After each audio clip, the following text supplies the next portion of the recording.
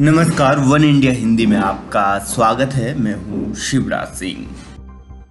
देश में कोरोना का कहर जारी है। महाराष्ट्र से लेकर उत्तर प्रदेश तक हर रोज रिकॉर्ड के सामने आ रहे हैं। उत्तर प्रदेश में कोरोना का कहर दिन प्रतिदिन बढ़ता जा रहा है। राज्य में कोरोना से हालात भयावह होते जा रहे हैं। इसको देखते हुए इलाहाबाद हाईकोर्ट ने यूपी सरकार को कड़े फैसले लेने को कहा है।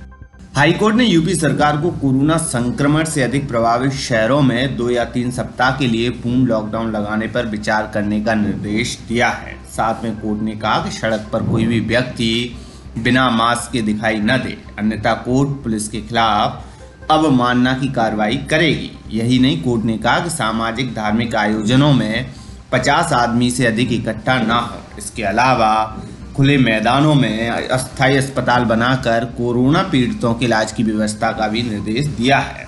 यूपी में कोरोना की स्थिति को लेकर दायर एक जनहित याचिका पर सुनवाई करते हुए न्यायमूर्ति सिद्धार्थ वर्मा और न्यायमूर्ति अजीत कुमार की पीठ ने यह आदेश पारित किया है। हाईकोर्ट की तरफ़ से इन सब चीज़ों को लेकर यूपी सरकार से जवाब तलब किया गया है और इसे लेकर अगली सुनवाई 19 अप्रैल को होगी। हाई कोर्ट ने कहा कि जिस तरह से यूपी में कोरोना के मामले बढ़ रहे हैं, उसे देखते हुए नाइट कर्फ्यू लगाना छोटा कदम है। ये नाइट पार्टी एवं नवरात्रि या रमज़ान में धार्मिक भीड़ तक सीमित है।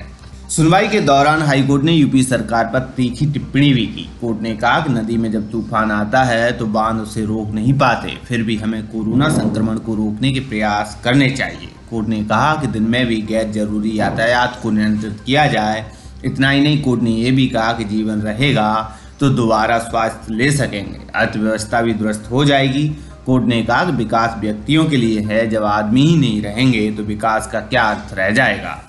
बता दें कि उत्तर प्रदेश में बीते दिन कोरोना के 18,000 से ज़्यादा नए केस सामने आए थे। लखनऊ में ही अकेले पाँच नए मरीज़ मिले थे।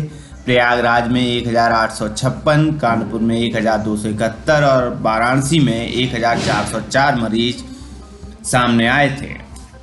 इस खबर में फ़िलहाल इतना ही। तमाम अपडेट के लिए बने रहिए बन इंडिया हिंदी के साथ।